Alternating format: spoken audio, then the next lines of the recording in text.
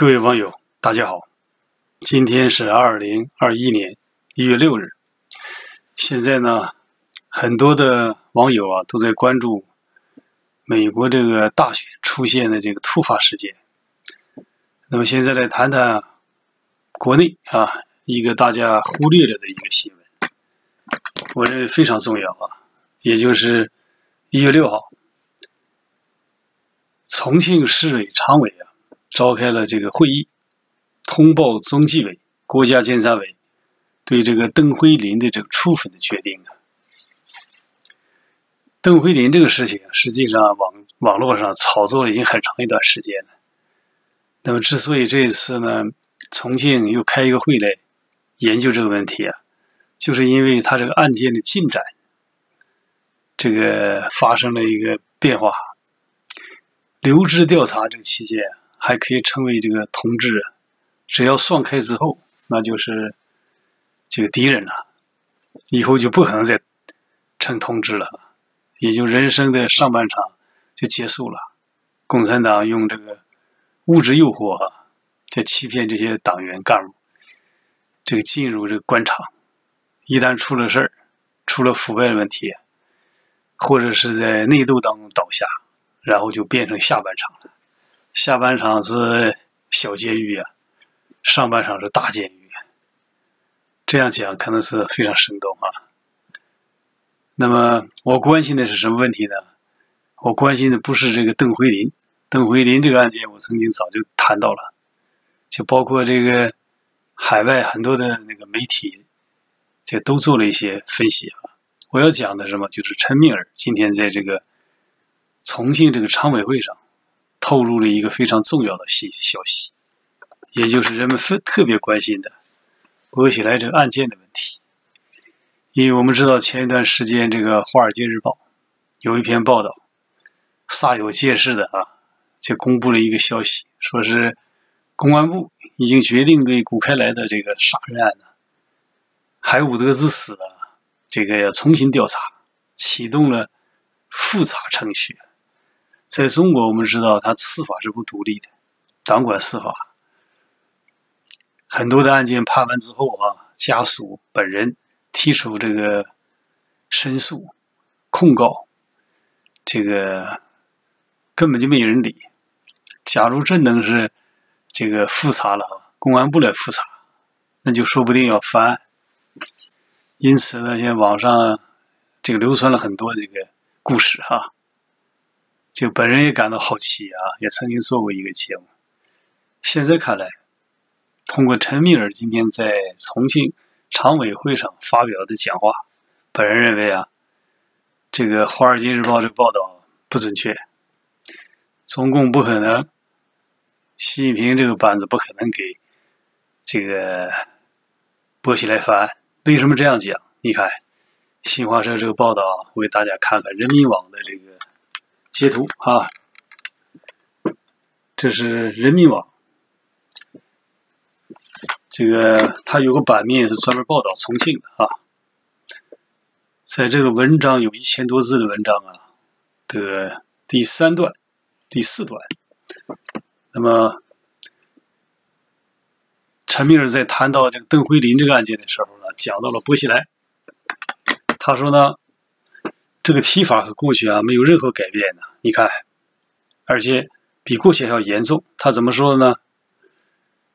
严守政治纪律和政治规矩，全面彻底干净肃清孙政才恶劣影响和薄熙来、王立军流毒，坚决清除邓慧林案件负面影响。这就等于说呢，不论是对孙政才的案件，还是对薄熙来的案件。还是对王立军的案件、邓慧玲的案件，这个性质都没有改变，都是一一视同仁的，都把它列为什么呢？列为敌人，列为犯罪分子啊！只不过是什么呢？有一段时间没有提这个事情。我们知道陈敏尔刚上任的时候啊，从贵州转战转战到重庆，当时他就提出要清除。剥下来王立军的流毒，那时候我的理解啊，如果真正要清理的话，这个坚持原则，不带有这个帮派啊色彩，这个派系色彩，应当是清楚的二次文革的阶级斗争哲学的流土。薄熙来、王立军呢，在重庆搞这个东西，就是毛泽东在文化大革命搞这套东西一样，都是一个师傅教的，一个模式啊，与天斗、与地斗、与地与人斗，其乐无穷。对党内的这些领导干部啊，采取什么以反腐败为这个为切口进行打击啊？那么对党外呢，对老百姓强加黑社会的罪名啊，尤其是对民营企业家啊，这个不仅强加罪名，而且这个抢夺民营企业的财产，包装虚构了六百四十个黑社会。你看文化大革命不就那样吗？文化大革命抓那个地富反坏右四类分子黑五类，采取都是这个办法，只不过是那时候抓那些领导人的时候，把他们称为这个走资派，就走资本主义道路当权派，把那些就是说社会上的这个体制外的人啊，这个称为什么地富反坏右牛鬼蛇神，其实都是一回事啊。只不过是到了这个薄熙来，这个在重庆担任啊，这个一把手那个年代啊，他自己找了一个借口，叫唱红打黑呀。其实唱红打黑简单就是一句话，找一个理由，这个抢夺、没收、巧取豪夺民营企业的这个财产，然后呢，这个化公为私。你看这个民营企业的财产没收的数字啊，多达两千亿，但是到了公家账号呢，听说这个很少。后来这个案这一系列案件都不了了之了。比较有名的时候，你比较有名的案件，你像彭志民的案件、李俊的案件、李强的案件等等啊，有很多名字我也都已经。淡忘了，到现在为止啊，还没有听到一起这个案件就获得了这个平反昭雪。难道六百四十个黑社会组织，这个没有一起案件是冤假错案吗？为什么不平反呢？就是因为这个接替就拨起来这个班子的这个孙正才，他明面讲是依法治国。依法治市，把这个薄熙来的五个重庆啊变成了五个功能区，忽悠一段时间，没有改变，就是说阶级斗争哲学的观点，还是因为沿用毛泽东那个那一套东西。同样的，到了陈明这个年代，也是沿用薄熙来留下这些阶级斗争观点，只不过是什么呢？把这个。孙政才重用的人，何挺这些人打下去了。陈明儿把自己的人安排上去，没想到他安排这个人还出了一个腐败分子邓慧林，怎么解释？怎么和重庆的老百姓交代呢？所以，从重庆的老百姓啊，现在对这个官员呢，已经根本失去了这个信任，失去了这个客观的标准。什么是正确？什么是错误？什么是守法？什么是犯罪呀？这思想上极大的混乱。因此，这个孙政孙政才他没有依法治市。